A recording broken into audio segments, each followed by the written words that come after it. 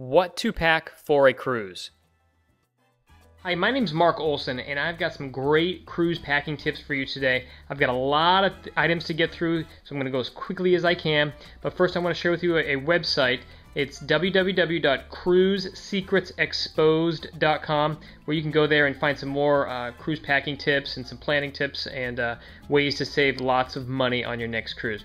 Okay, so let's get started. All right, you want to make sure that you have a good cruise packing list uh, before you go on your cruise. You don't want to forget anything uh, because it's going to be very di- difficult to find anything in the retail uh, stores on the ship, and you don't want to be spending your first day in port looking for the things that you forgot. Okay, you want to make sure you bring your passports and your boarding pass and all the documents that you need for your cruise. Not every cruise requires a passport, so you need to you know find out before you go. You want to make sure you bring uh, medical insurance cards, and I would make a copy of your credit card, uh, your uh, passport, and your medical cards just in case something gets lost or stolen. You have access to the numbers and things like that. All right, moving on to alcohol. On some cruises, uh, like Carnival, you're allowed to bring one bottle of uh, wine uh, per person on your cruise. You can bring it on. If you bring it to a dinner, there will be a $10 uh, corkage fee, but if you want to just open it up in your room, make sure you bring a, uh, an opener. You, as far as hard alcohol goes, you're really not allowed to bring it on. Uh, but this is how I got around that. I actually snuck it on. I put it in these Propel water bottles, and this this uh, these bottles came in like a package of six with the plastic uh, coating around them.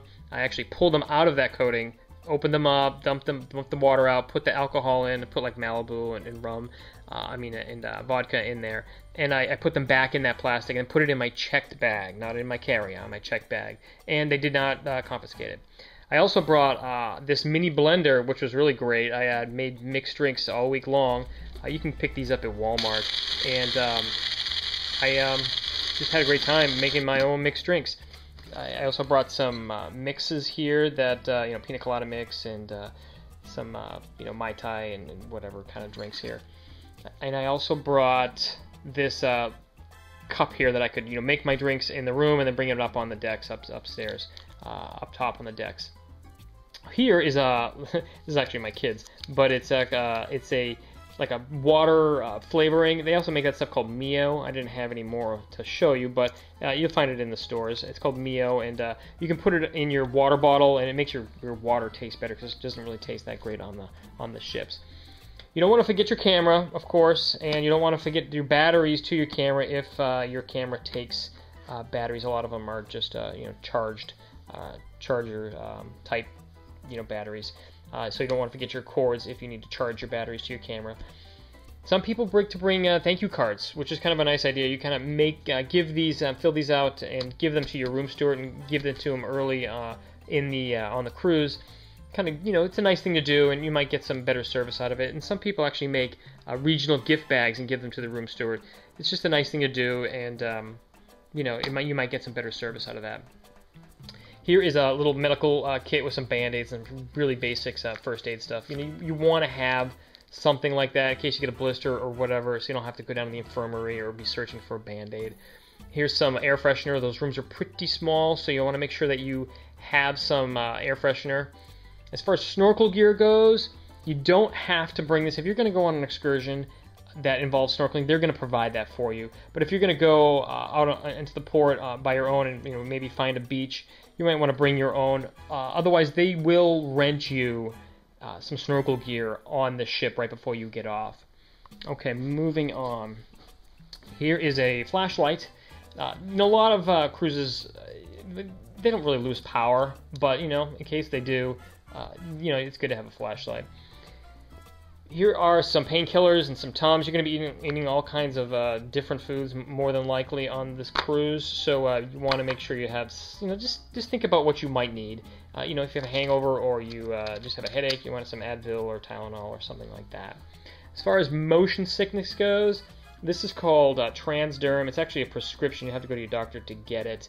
Uh, my this is my wife's, and um, it's a it's like a patch that goes behind your ear. It helps with equilibrium, which uh, helps to prevent you from getting uh, nauseous on the cruise. I bought this at Walmart. It's called Motion Ease. Same concept. It's like an oil you rub behind your ears, and it uh, I didn't even use it, but it uh, apparently works uh, on the same premise as the Transderm. And these, this is a, a Sea-Band, and it's actually got a acupressure little plastic uh, node on there that you put these on the inside of your wrist, and through the acupressure, it apparently works. And I do know some people that have used those, and that they do work. Don't forget your sunblock and maybe some aloe in case you get sunburn. Don't forget your prescriptions. I take Allegra and Flonase for my allergies, so you don't obviously want to forget your prescriptions. This is uh, some off uh, for bug, bug, repellent. If you go on some excursions, you uh, may you know, be in the woods and stuff, so you might want to uh, bring some of that uh, because otherwise you'll, you'll get bit. This is some travel uh, shampoo and conditioner. They will provide you with that stuff, some shampoo and conditioner and some soap in the cabins, but you know we all have our preferences as to what we use. So if you want, bring some uh, of that. Let's move over to here.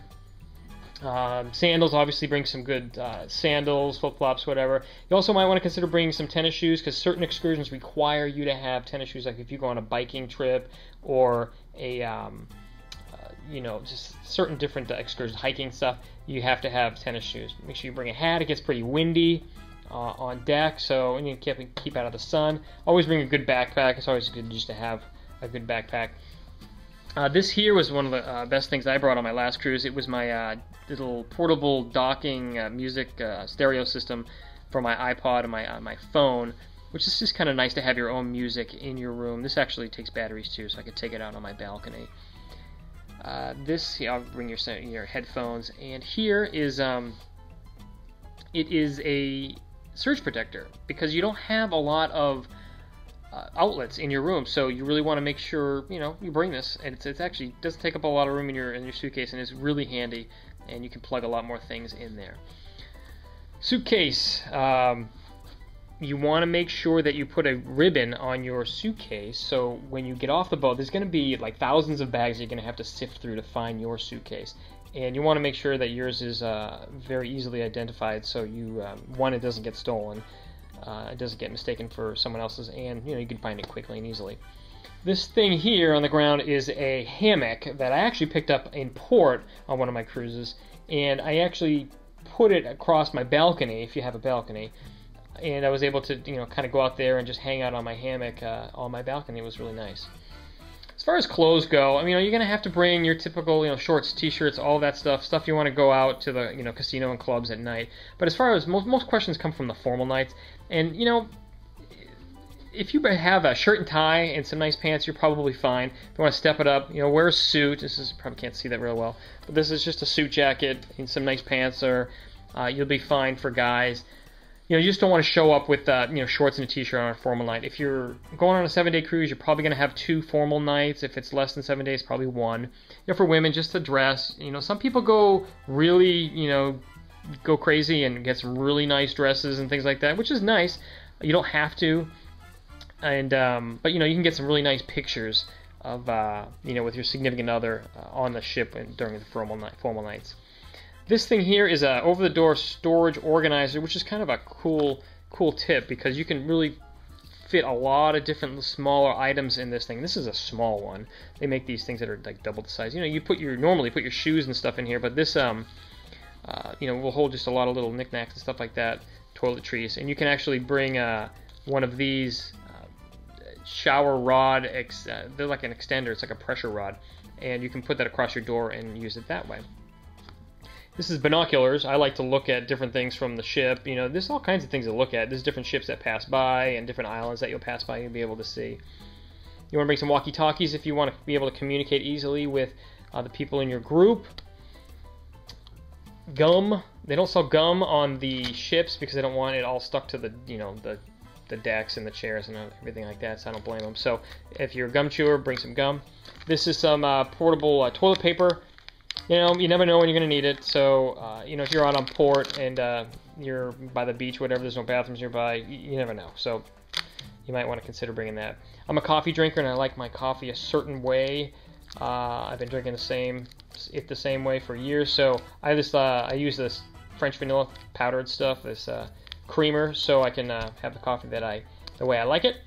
This here is a paper towel roll holder that you can actually, you know, if you maybe a, want to keep some you know, keepsakes in like a menu or something, you can roll roll it up and put it inside there, and maybe keep some of your items that you want to uh, keep nice, maybe your scrapbooker or something like that. keep things nice and uh, you know wrinkle free in there. Here are some um, snacks that you might want to bring because there's obviously plenty of food on the on the cruise, but you know not a lot of packaged food. And if you go on your excursion or just you know want to have it in your room, you can bring some snacks, especially if you have kids. And the last item here is just a sticky notepad that, you know, if you want to use this to write notes to your room steward, you can do that. So there you have it. There's um, a lot of different items that you may or may not have thought about uh, to bring on your on your next cruise. So if you want to go over to www.cruisesecretsexposed.com, you'll be able to uh, find some more information about how to plan for your cruise and how to get some uh, really good savings there. So go on over to that website now, and I hope you have a great time on your next cruise.